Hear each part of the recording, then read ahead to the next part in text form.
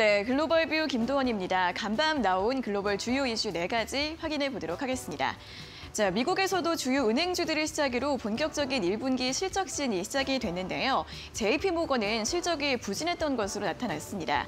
순이익은 82억 8천만 달러로 전년 동기 대비 42% 줄어들었고요. 주당 순이익도 2.63달러로 시장 예상치를 하회했다고 합니다. 이 우크라이나 침공에 따른 러시아 제재와 높은 인플레이션이 영향을 미친 것으로 보이는데요.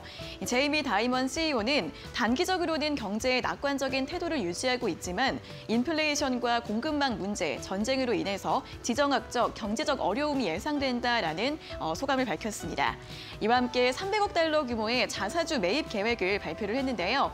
JP모건 간밤에는 주가 3% 넘는 하락세로 마감을 했습니다. 또 앞으로 나올 기업들의 실적들 주목해 보시면 좋겠습니다. 있습니다.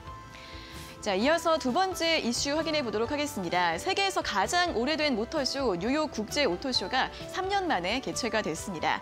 현대차와 기아도 참석을 했고 또 미국의 GM과 포드, 일본의 도요타와 닛산 등 글로벌 완성차 업체 20개 사 정도가 어, 참가를 했다고 하는데요. 역시나 전시 모델 4분의 1이 친환경차라고 하고요.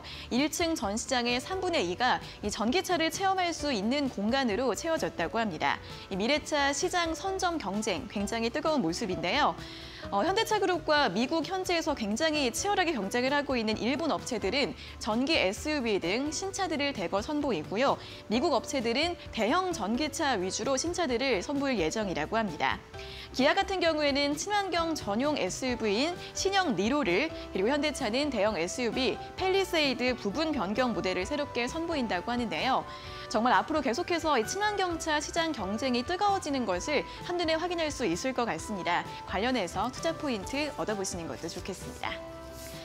자, 이어서 다음 이슈 확인해 보도록 하겠습니다. 뱅크 오브 아메리카가 워너브라더스 디스커버리에 대해서 매수 의견을 제시했습니다.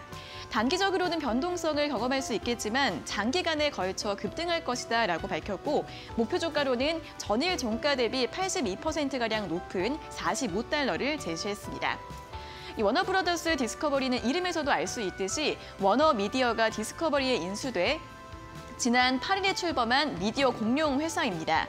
지난 11일부터 나스닥 시장에서 거래를 시작을 했는데요. 해리포터로 유명한 워너브라더스를 비롯해서 배트맨, DC 필름, 그리고 보도 채널인 CNN과 함께 왕자의 게임으로 유명한 HBO 등 굉장히 유명한 인기 채널과 제작사들을 거느리고 있습니다. 이 OTT 시장도 점점 뜨거워지고 있는 분야 중 하나죠. 이 콘텐츠 주들에 대한 관심도 지속적으로 가져보시면 좋을 것 같습니다. 자, 마지막 이슈 확인해 보도록 하겠습니다. 스포츠웨어 브랜드 룰루레몬이 중장기 성장 목표 발표를 앞두고 최근 강세 흐름을 보이고 있습니다. 룰루레몬은 오는 20일 향후 5년 중장기 성장 가이던스 발표를 앞두고 있는데요.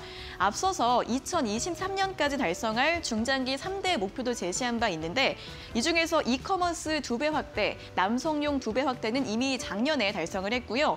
어, 나머지 하나인 해외 매출 4배 확대는 올해 달성을 할 것으로 예상이 되고 있습니다. 이번에 나올 목표 전망치도 시장 예상을 상회할 것으로 전망이 되고 있는데요.